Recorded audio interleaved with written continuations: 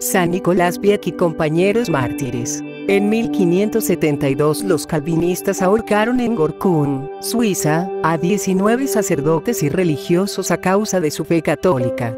11 los mártires eran frailes menores de la observancia, entre ellos se contaban San Nicolás Pieck, guardián del convento de Gorkum y San Jerónimo Verden, su vicario.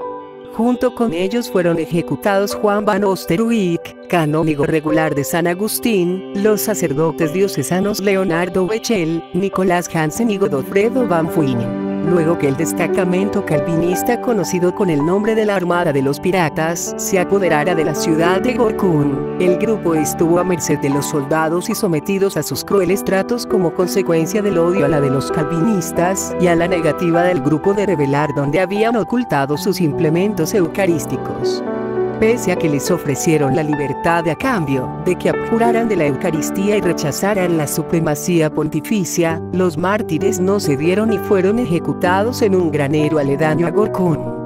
Fueron canonizados en el 1867 por Pío IX.